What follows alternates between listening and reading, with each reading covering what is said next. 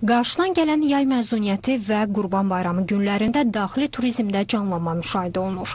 Bayramla əlaqədar qeyri-iş günlərində paytaxt sakinləri əsasən bölgələrə üz tutacaqlar. Dövlət Turizm Agentliyindən verilən məlumata görə, paytaxtdan bölgələrə səfər edən sakinlər hazırda 4 turizm dəhlizi üzrə hərəkət edir. Bu istiqamətlərin hər biri üzrə də sıxlıq nəzərə çarpır. Bütün dünyada olduğu kimi ölkəmizdə də turizm yay mövsümündə daha çox canlanmağa başlayır.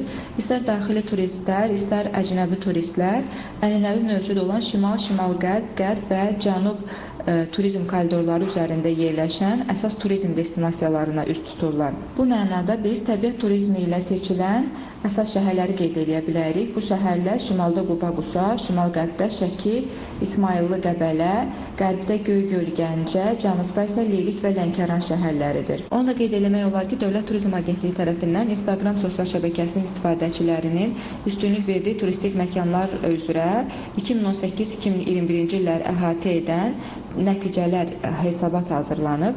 Həmin hesabatdan da görünür ki, yay aylarında təbiət kateqoriyasına yer alan məkanlarda həyata keçirilən paylaşımların sayı qış aylarından 4 dəfə daha çoxdur və ümumiyyətlə təbiət kateqoriyasına görə paylaşım sayları birinci yerdə dayanır. Ekspertlər bildirir ki, pandemiya ilə əlaqədar qonşu ölkələrlə quru sərhədlərin bağlı olmasına əsas gətirən yerli sakinlər bu günlərdə ölkə daxili turlara daha çox üstünlük verirlər. Bugünkü gündə yəni Qurban Bayramı ilə əlaqədar, yəni regionlarda olan otellərimizin doluluq səviyyəsi həddadır. Bugünkü gündə yəni Gürcüstanla sərhəddən bağlı olmasa, Rusiya ilə sərhəddən bağlı olmasa, eyni zamanda İranla, qonşu İranla sərhədin bağlı olması, yəni yerli turistlərin daha öncə, bir illər öncə, yəni qonşu ölkələrə, əlamətdar günlərdə qonşu ölkələrə e, getməsinin nisbətən yəni məhdudlaşdırdı. Əlbəttə ki, bu da e, regionlarda böyük sıxlığa gətirib çıxartdı. Həm e, qiymət artımının qarşısını almaq, həm eyni zamanda e, yaxşı keyfiyyətli bir e, xidmət göstərmək